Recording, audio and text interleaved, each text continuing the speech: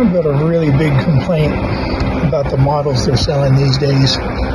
What are these things made out of? This one only hit the ground once, just one time. And it wasn't really all that hard. I mean, shoot, you'd think they'd last longer. I'm tired of it. I'm sending this one back as soon as I can find a box to put it in.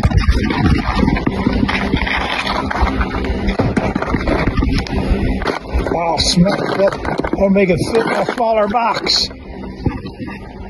Oh well. Here's a box. Farewell, Focke-Wulf.